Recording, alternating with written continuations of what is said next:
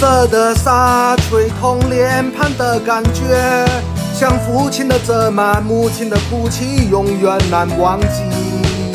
年少的我喜欢一个人在海边，卷起裤管，光着脚丫踩在沙滩上，总是幻想海洋的尽头有另一个世界，总是以为勇敢的水手是真正的男儿。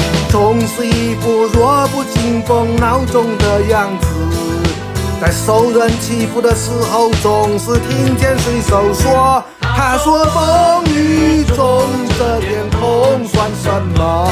擦干泪，不要怕，至少我们还有梦。”他说风雨中这点痛算什么？擦干泪，不要问为什么。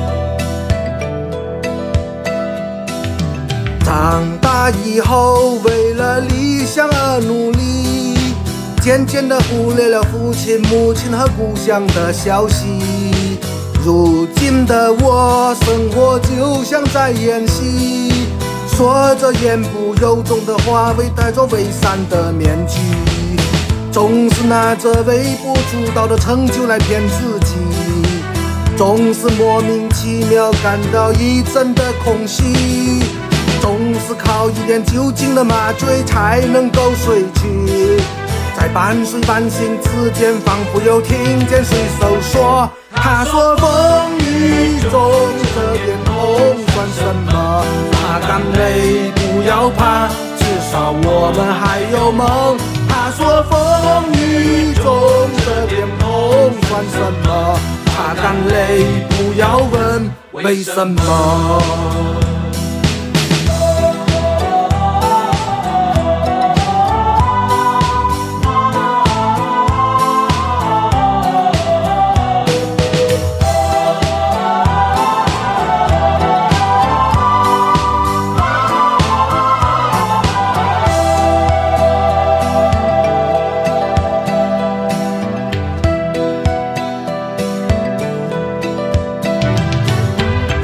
寻寻觅觅寻不到活着的证据，都市的柏油路太硬，猜不出自己。骄傲无知的现代人不知道珍惜那一片被文明糟蹋过的海洋和天地。只有远离人群，才能找回我自己，在带着咸味的空气中自由的呼吸。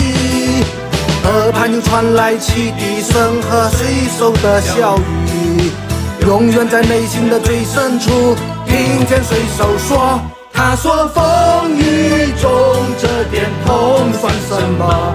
擦干泪，不要怕，至少我们还有梦。”他说风雨中这点痛算什么？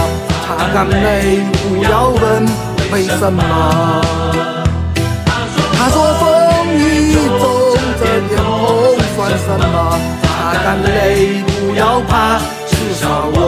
还有梦。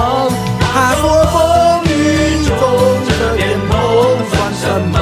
擦干泪，不要问为什么。他说风雨中这点痛算什么？擦干泪，不要怕，至少我们还有梦。他说风雨中这点痛算什么？擦干泪，不要问为什么。他说风雨中这点痛算什么？